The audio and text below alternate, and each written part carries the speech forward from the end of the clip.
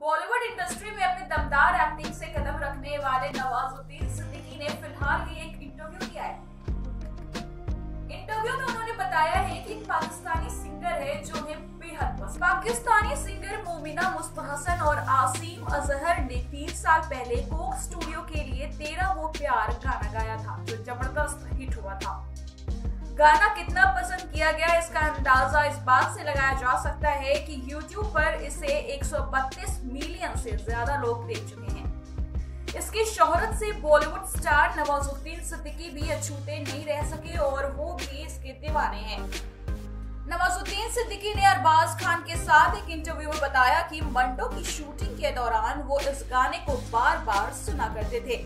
उन्होंने कहा कि मंटो की शूटिंग के दौरान वो सिर्फ़ एक गाना सुना करते थे इसे पाकिस्तान की सिंगर मोमिना मुस्तहसन ने गाया है और इसका नाम तेरा वो प्यार है। वो इस कदर इस गाने को पसंद करते थे कि गाना सुनने के बाद अपना सीन किया करते थे।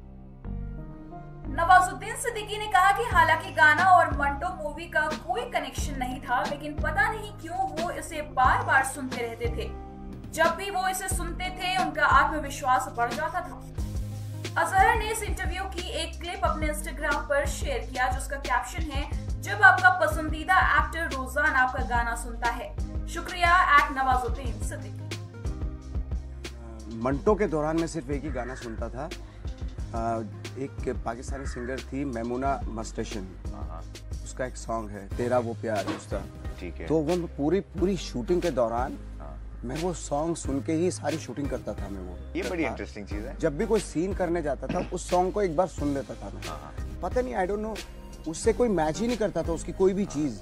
बट वो सुन के जब मैं सीन करता था तो मैं किसी हाई में चले जाता था।